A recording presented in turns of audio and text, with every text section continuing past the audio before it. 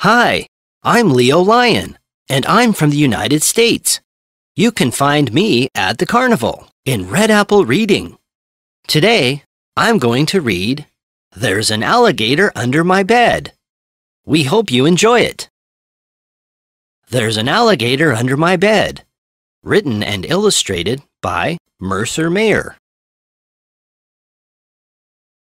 There used to be an alligator under my bed.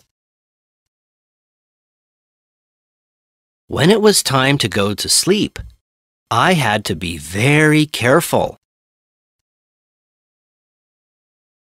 Because I knew he was there. But whenever I looked, he hid or something. So I'd call mom and dad. but they never saw it. It was up to me. I just had to do something about that alligator. So I went to the kitchen to get some alligator bait.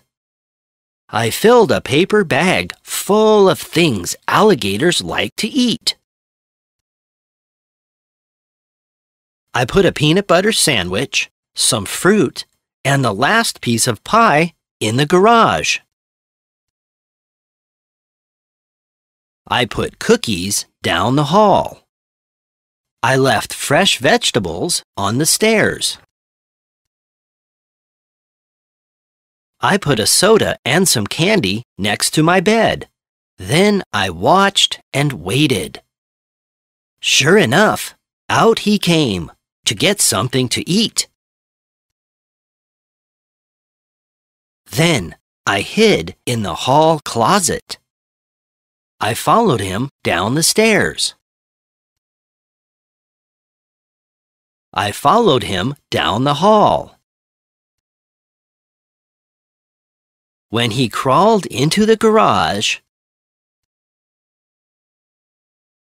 I slammed the door and locked it. Then I went to bed. There wasn't even any mess to clean up. Now that there is an alligator in the garage, I wonder if my dad will have any trouble getting in his car tomorrow morning. I'll just leave him a note. The end.